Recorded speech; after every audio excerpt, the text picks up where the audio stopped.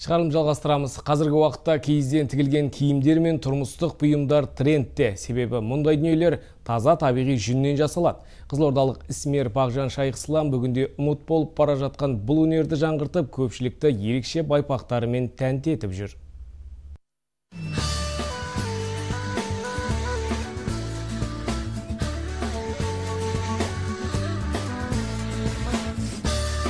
Заман өзгерсе де жылуын жоғалтпайтын, сәннен қалмайтын бұйымның бірі киіз байпақ. Өйткені экологиялық таза, денсаулыққа қауіпсіз, аяққа ыңғайлы суық күндері табанды жылытады.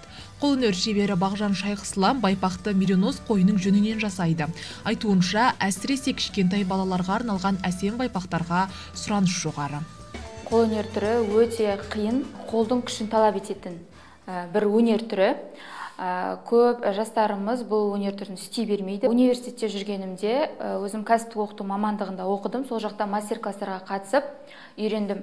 Ә, өзіме осы өнер түрі ұнады да ары қарай ә, осыдан өзім табыс тапқым келді. Қолөнер шебері шикізатты жамбыл облысынан алдыртады екен. Ал байпақты арнайы қалыпқа салып әзірлейді. Бір өнімді шамамен 3-4 сағатта жасап шығады. Жаңағы формамыз келді.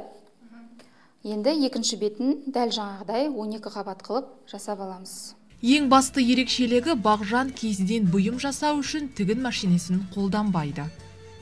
Болдым Ә, енді бағанағы ішінде қалып кеткен қалпымызды аламыз. Бағана тігіссіз деп айтып жатқан мінекей көрдіңіздер ма ешқандай байпақта тігіс жоқ. Ешқандай тігіссіз Бағжан жуырда шағын шеберхана ашып отбасылық кәсібін қолға алды. Мұнда өзімен бірге бауырлары да жұмыс істейді. Таза табиғи жөннен жасалған түрлі өнімдерге елімізден ғана емес, көршілес мемлекеттерден де сұраныс бар. Кәсіпкердің алдағы жоспары ауқымды үлкен цех ашып, отандық өнімнің өрісін кеңейтсем дейді.